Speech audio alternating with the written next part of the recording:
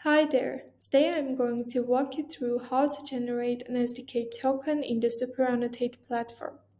An SDK token is an authentication key that gives you access to various API calls within the platform.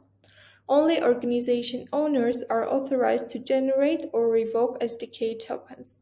To generate the token for your Python SDK, go to your team setup and under the details section, you will see the part for the SDK token.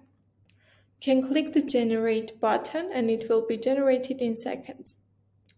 The token automatically expires after one year, so in case of running into any SDK issues, make sure to check that the token is still valid. If you want to revoke a token without generating another one, you can revoke it from here. Later, you can go ahead and generate another one. Thank you for watching. Stay tuned for more videos of best practices and tips.